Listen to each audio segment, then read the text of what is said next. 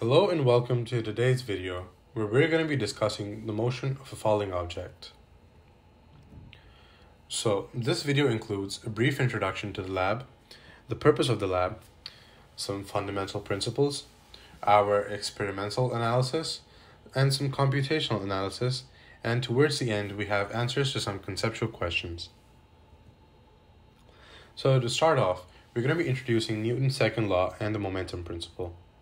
Newton's second law states that the acceleration of an object depends on the mass of the object and the amount of force applied on it.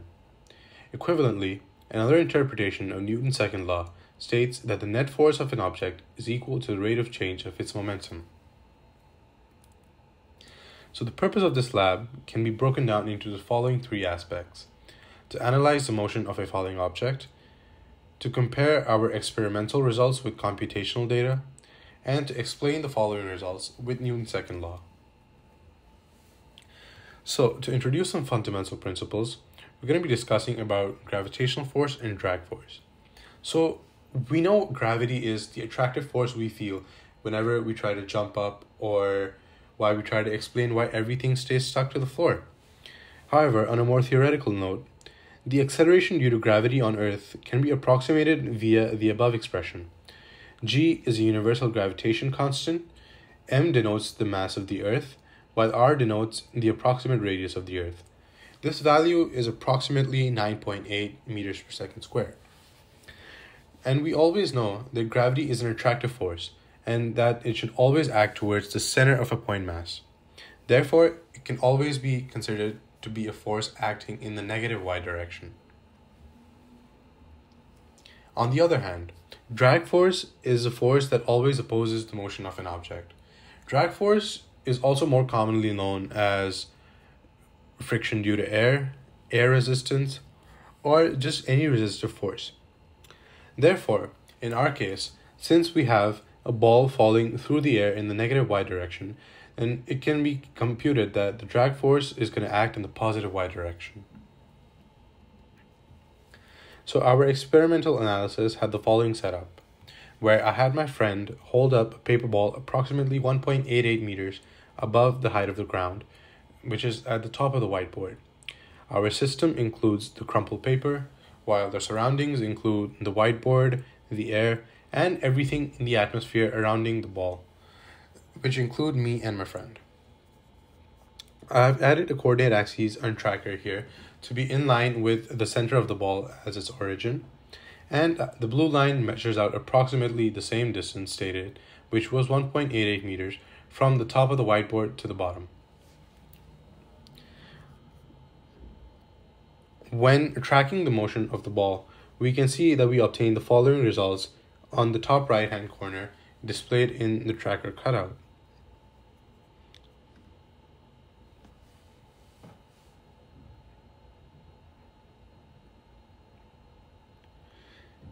For this scenario, we're going to be excluding the movement of the ball in the x direction and only focusing on its position versus time in the y direction.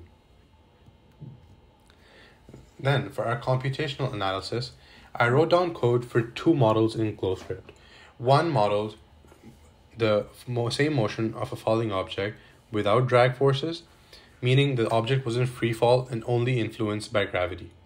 And in the second model, I also made sure to include drag forces, which would oppose the motion of the falling object. So in both my codes, I have defined the initial position and the initial velocity of the falling ball, while the initial position is very, very close to approximately zero, and the initial velocity of the ball, since it is falling at rest, from rest, sorry, is also zero. Then we have also defined a j hat vector which is the vector or the direction vector in the positive y direction. Then we have defined a while loop and also computed the position and velocity updates for the ball as it falls through the air in the negative y direction. And the data obtained from this can be seen here. In the model without drag, we see this.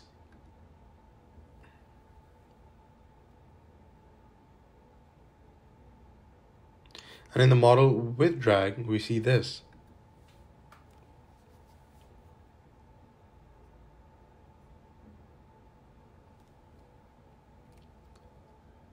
And now to plot our experimental versus computational data. It can be seen here that the predicted position without drag is seen to be the it has seen to fall the greatest distance throughout the air and the predicted position with drag, again in the computational version, is seen to be somewhat similar, however, still lesser than our predicted position without drag. And in the end, we can see the experimental position of the paper ball that was falling through the air is the least because of the resistive forces in real life acting on the ball. Now, to answer some conceptual questions, if we were to examine the velocity versus time predicted by our models with and without drag, which models, if any, would predict a terminal velocity? So, in the graph of velocity versus time of an object under free fall, meaning it only experiences gravity, terminal velocity has not been reached since the slope of the graph is constant, therefore also meaning that constant acceleration. However, terminal velocity may be reached when in the second model when gravitational acceleration is equal to the drag force which opposes the acceleration of the falling ball. and our second question states that imagine if the object was initially thrown downward. Would the terminal velocity in this case be the same or different from the case where the same object was initially dropped from rest? So we can see that indeed, according to the code, the terminal velocity in this case would definitely be different, where the same object was initially dropped from rest. Thank you for watching.